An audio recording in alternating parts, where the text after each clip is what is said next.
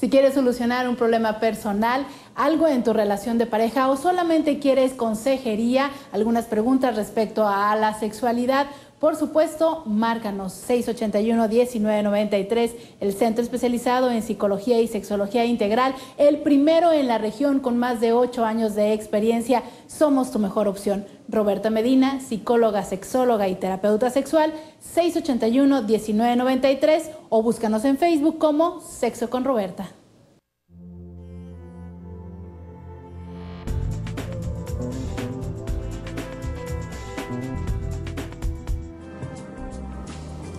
Por supuesto tenemos el placer de recibir tus preguntas a través de nuestro correo pregunta a través de nuestra página de Facebook y por supuesto a también de nuestro canal de YouTube. Y la primera pregunta de hoy dice así, es de una mujer, licenciada, perdone que la moleste con esta pregunta, ¿cree que la infidelidad por las redes sociales se puede perdonar? Estoy muy confundida y no sé qué hacer. Mira, Roberta, aquí es qué es lo que yo quiero realmente. Ponerme este, a cuentas con mi pareja, escuchar y sobre todo la honestidad. Entonces, finalmente ahorita con las redes sociales podemos descubrir tantas cosas, pero es qué es lo que quiero yo hacer con, con esta situación, con este momento. Definitivamente lo que se puede no perdonar es un acuerdo de pareja. O sea, es primero a nivel individual, ¿qué quieres? ¿Qué crees que seas capaz de vivir en la vida?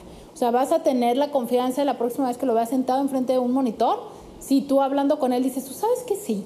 O sea, yo puedo creer que sí cambia, digo adelante, ¿no? Si realmente no vas a poder vivir con esta idea, pues a lo mejor yendo a terapia se te quita. Y si no, pues realmente digo, ser congruente y consistente con lo que es importante para ti en la vida, pero sobre todo sí ser responsable de si esto fue algo que se habló antes, si se hace un acuerdo, dar una oportunidad de decir, mira, ¿sabes qué? Realmente no me gusta o está bien, chacotea por ahí mientras no te involucres o si te involucras nada más una vez. Todos sabemos cuáles son los límites que somos capaces de entender y desde ahí eh, poder defenderlos como pareja, ¿no? El otro día escuchaba un programa de radio, nada más la entrada y la salida en Estados Unidos y hasta he pensado hacer un programa de esto, ¿no? Fíjate, decían que ahora una prueba de, ya sabes que antes la prueba del amor era cuando me dabas la prueba del amor, pues era la virginidad, ¿no? Y ahora dicen que la prueba del amor, a otro tiempo dijeron que era la contraseña de Facebook. Yo me llamó la atención cuando estos lo plantean y dicen que si tú te atreverías a intercambiar tu teléfono celular con tu pareja por un día. O sea, imagínate 24 horas de tener el teléfono de tu pareja y que le llame quien le pueda llamar y le lleguen los mensajes que le lleguen. O sea, realmente ¿Qué tan limpio o limpia estás tú para decir, está bien, mira, aquí está mi teléfono, ¿no? Úsalo. Creo que realmente eso sería una prueba para ambas personas de la franca honestidad y decir, mira, o sea, a lo mejor sí se puede jugar y divertir solamente en las redes o finalmente están transgrediendo un límite que pueda lastimar la relación. Así es, Roberta. Pero hay que ver, ¿no? Qué tan limpio puede estar, como dices tú, y qué tan honesto soy en la relación. Porque a veces, o sea, uno dice, ay, no, yo nada más estaba jugando, pero que él no lo haga. No, también hay que tener claro que lo que tú quieres para ti es lo mismo que tenemos que dar para el otro. Una mujer nos escribe, hola, te escribo para preguntarte, soy casada, tengo cinco años y siento que mi matrimonio era normal y estable hasta que mi esposo me confesó que fue infiel, algo de una sola noche con alguien que conoció ocasionalmente en un viaje de trabajo. Yo lo perdoné sinceramente, pero desde que pasó eso, yo siento que hemos subido y como que cada vez necesito estar más íntimamente con él. No sé si es normal, si es parte del proceso, si yo misma quisiera borrar cualquier recuerdo de esa noche. Estoy más abierta a disfrutar de esto, pero es algo que no entiendo el por qué o si necesitamos ayuda profesional. No sé si me expliqué. Gracias por tu atención. Pues posiblemente esta situación lo único que hizo es darme cuenta este, que mi relación posiblemente se estaba enfriando, ¿no? Y ahorita es como que revive la chispa, la inquietud de querer responsabilizarme, de querer estar con la otra persona y sobre todo pues tener más contacto con la otra persona. Solamente ella puede identificar si necesitan ayuda los dos profesionales o no necesitan ayuda. Yo creo que aquí la clave, la super clave, la vas a decir tú solita. Pregúntate o responde a mi pregunta. Lo estás haciendo porque de repente fue así como un foquito rojo, se te abrieron los ojos y dijiste, claro, O sea, esta área la tenemos abandonada, ¿por qué no disfrutamos más de nuestros cuerpos? ¿Por qué? O sea, cuando lo hiciste y dijiste, wow, esto está tan rico que ¿por qué no lo repito más? Creo que si esa es tu elección de pregunta, pues bueno, qué chido que pudiste integrar esta situación que te sirvió de una alarma y que simplemente te ayudó a tener atención a esto. O la otra posibilidad que es realmente quiero que se olvide, quiero, sabes, como esta parte de quiero, quiero que esté súper bien alimentado para que no tenga hambre y no se le antoje a alguien más. Ahí yo te diría, hijo, cuidado.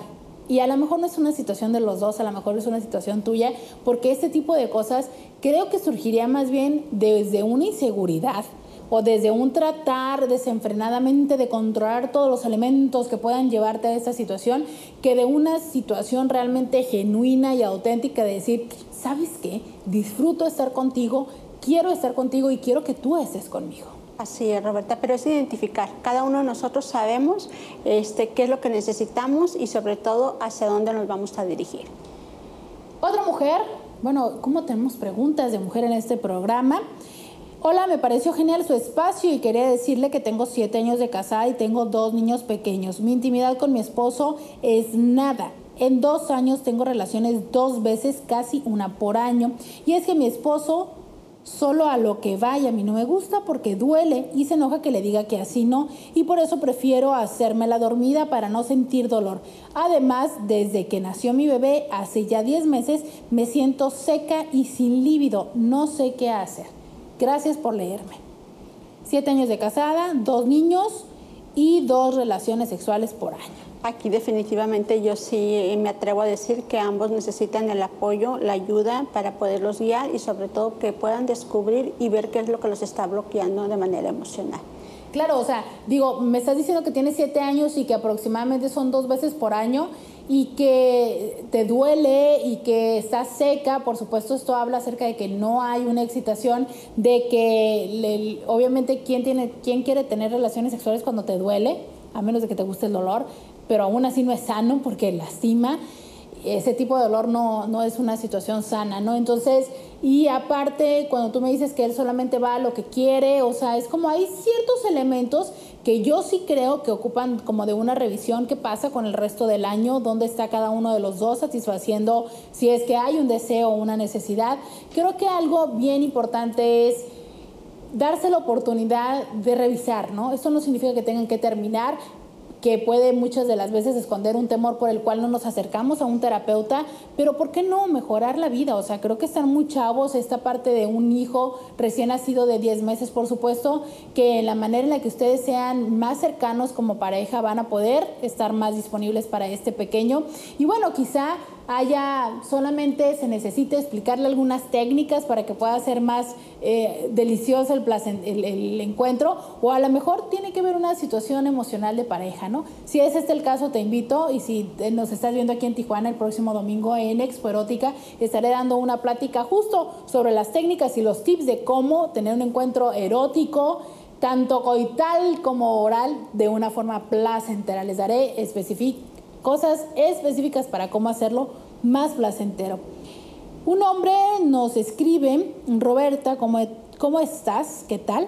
Me siento algo desesperado por mi vida sexual. Me masturbo mucho, soy mucho, muy activo sexualmente. Yo era adicto a la pornografía y ahorita tengo problemas para tener relaciones tanto sentimentales como sexuales. Me está frustrando mucho esto, ya que no puedo obtener lo que realmente deseo. Saludos y gracias aquí egoístamente te das cuenta que nada más está pensando en él, ¿no? Lo que él desea, pero no se da cuenta qué es lo que desea la otra persona. Y volvemos a lo mismo, necesitamos comunicación, necesitamos escuchar al otro para ver cuáles son las necesidades también de la otra persona. Y darnos cuenta que, bueno, hemos dicho mucho aquí en este programa que la masturbación y la pornografía o los materiales sexualmente explícitos no tenemos por qué satanizarlos y decir que son lo peor, pero sí darnos cuenta cuando su uso o su consumo nos lleva a poder disasociarnos y no ser capaces de lo que tú decías, Chelito, entender qué es lo que necesita el otro, comprender los tiempos y también disfrutar de esto. O sea, es como si tú me dijeras que todos los días quieres comer chilaquiles mañana, tarde y noche, no tarde que temprano tu cuerpo te va a cobrar la factura la sexualidad no es distinta. Entonces, acércate con alguien que pueda orientarte sobre todo y sinceramente te lo digo porque se nota que hay una desesperación, ¿no? Como esto de ya no puedo hacer, no puedo obtener lo que yo quiero. Claro que mereces vivir una vida con menos ansiedad, menos preocupación y con una relación estable. Entonces, busca quien pueda ayudarte. Un terapeuta sexual sería la mejor opción y si quieres ir con nosotros, 681 1993 el teléfono a marcar. Una mujer dice, ¿es posible que el hombre ya no sienta placer al penetrarme, que ya no sienta apretado? Aquí tendríamos que revisar en un proceso psicoterapéutico la entrevista y ver qué es lo que está pasando, ¿no? Porque puede ser que estén bloqueados emocionalmente, se estén lastimando o ver qué es lo que está pasando en esta parte. Mira, eh, tanto puede ser una cuestión emocional como puede ser en verdad una cuestión física, ¿no? Si has tenido múltiples partos, si este, de alguna manera has tenido también otro factor, es cambios muy exacerbados de peso, también esa es otra situación. Finalmente lo que nosotros tenemos en esta parte de abajo como la pelvis, ¿no? Es el piso pélvico, justo se llama así, y entonces es un entramado de músculos que como todo músculo, pues bueno, al paso del tiempo va aflojando. Si tú no tienes una tonicidad muscular al igual que el brazo, ¿no? Como cualquier músculo que cuando lo tienen bien tonificado está duro y si no está así como este guajoloteando, ¿no? Entonces igual sucede con tu vagina. Es posible, efectivamente, es posible que si tú no tienes un buen tono muscular, pues bueno, ya no haya una sensación ni de que aprietes, ni de que sueltes, ni de nada, ¿no?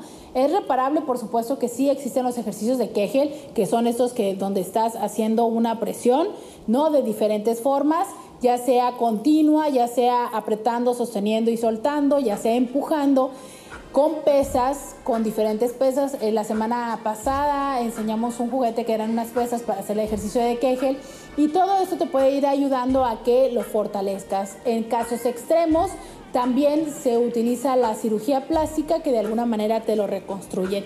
Lo que aquí es importante finalmente es, si deja de haber placer en un encuentro erótico porque no hay tonicidad muscular, muy posiblemente también sea porque todo lo fuerte, el platillo más fuerte del encuentro erótico está haciendo solo la penetración.